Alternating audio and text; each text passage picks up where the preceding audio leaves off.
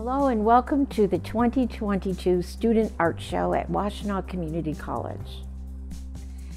Art is one of those beautiful universal languages that transcends everything.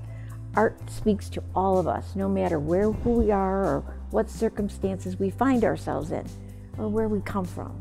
Art continues to be an important, almost therapeutic tool during unknown times, such as pandemics and wars around the world. This year, we're proud to showcase 124 impressive works from our own talented artists. The pieces which you've seen on display in the Student Center and through the virtual gallery were all created in Washtenaw Community College courses, including 2D and 3D visual art, photography, animation, graphic design, and video courses taught by instructors who are extremely talented in their own right. As always, the quality is amazing, and I salute our faculty in the caliber of WCC's visual and digital media arts programs.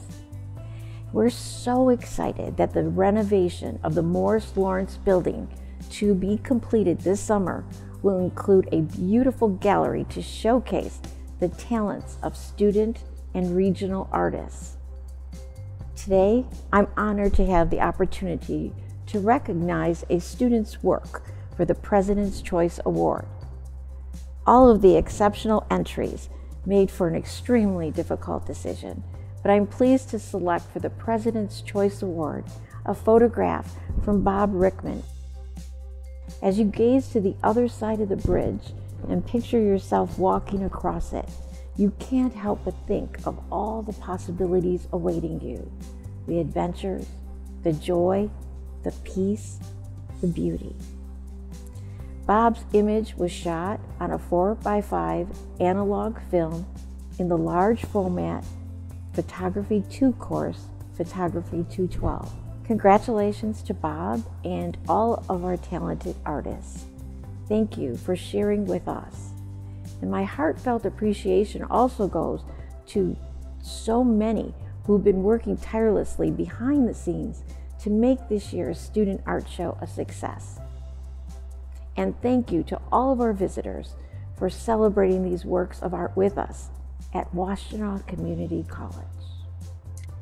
Hi, my name is Saima Mohammed. I'm an assistant professor in graphic design at Wayne State University. First of all, I would like to thank you all for allowing me to be the guest juror for this year's student art show. I feel a connection to WCC as I've taken a couple classes here in the past. I've taught a few classes here, and now I'm honored to be here today to be the guest juror. There were so many strong works of art that choosing only five pieces was an incredibly difficult task. Uh, so, as far as how I went about selecting the work, I had to create some guidelines, of course. One of the most important factors for me was whether the work holds up as an interesting and unique work outside of the context of a classroom. Other important factors were technical craft, individual expression, uh, and the special qualities that drew me back to the piece for another look. If your work was not included, please do not be discouraged, and also please excuse me if I mispronounce anyone's name. Um, for the Promising Artist Award for video production, I chose Tyler Farrell for the COVID 19 My Perspective short. Uh, since I do have a bit of a background in design, there are moments where I would have done some things differently with the typography. However, I appreciated the thought that was put into incorporating that aspect into the production. The transitions were well done and worked nicely with the music and the silence. Uh, I'm also very impressed with the lighting design as it really set the tone. This short can speak to pretty much everyone as we all lived through that phase of the pandemic where there was so much chaos and isolation at the same time. It was and continues to be such a unique time in history, and this short captures it very well. So, congratulations to Tyler. For the Promising Artist Award, I chose Dwelling Number 36 by Marissa Harris. I was so blown away by the level of intricacy and detail in this drawing. When I saw this piece, I couldn't believe that it was from a basic drawing class.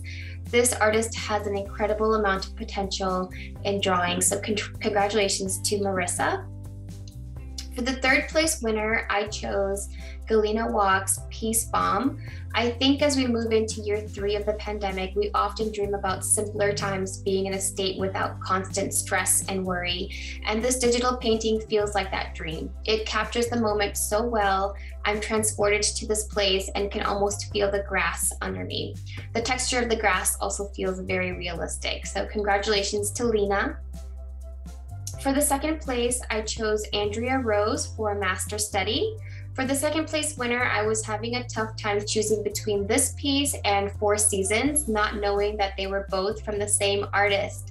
This artist clearly knows their way around color because the color combinations and transitions on both pieces were lovely and so eye catching. Ultimately, Master Study took the cake due to the intricacy in the design and the color composition. So, congratulations to Andrea. For the first place winner, I chose Doorway by Therese Basha Jarjura. I was instantly drawn to this piece as it made me feel homesick for a place that I didn't know. There's something about the handicraft that gives it a coziness that wasn't expected, and the architecture of this home has qualities that are mathematical and organic. After I got the translation of the poem, I loved it even more. The poem is titled A Dream, and it reads A pen drew a house on a sheet. Hope saw it and couldn't sleep. A bird resting on the branches, a swing painted on its walls. Kids are laughing, their voices like melody.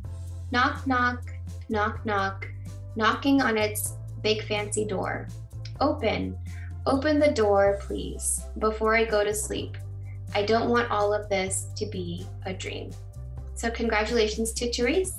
Judging the show was such a treat. Many more pieces were just edged out of receiving awards. With the limit of awards, narrowing it down was very tough.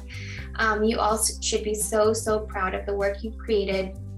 And I seriously encourage you to keep striving to the next level within your art. And congratulations to all. Thank you. Uh, hi, I'm Scott Britton. I'm the Dean for Humanities, Social, and Behavioral Sciences here at the college, and that includes art. And uh, I just want to say congratulations to all of our artists who partic- who submitted their work to the annual student art show. It was so nice for me to be able to go to the student center and see many of your works uh, on display there. I'm particularly looking forward to the reception, which is going to be March 31st from 4 to 6. Um, it's also my pleasure to announce the Dean's Choice Award, which was tough for me with so many fine pieces. Um, but I chose Nathan Schupert's Untitled uh, submission. And this is actually a collection of two large ceramic pieces. But I think that everyone um, is a winner who was willing to share their work and help us celebrate uh, creativity and help us celebrate art and the artist's way of knowing so I think that we're all winners here, and I just want to say thank you. I look forward to seeing uh, some of you at the reception. And again, congratulations to Nathan. Hi, this past year has once again been full of challenges. I continue to be in awe of our students' perseverance and strength as they continue their creative studies at WCC, as well as participate in this year's Student Art Show. We decided this year to have the Student Art Show in a virtual format and as a physical exhibit of student work on the second floor of the Student Center. As a studio art faculty member at Washtenaw Community College, I am honored to share with you this year's People's Choice Award. The People's Choice Award is determined by a popular vote by the WCC community and community at large.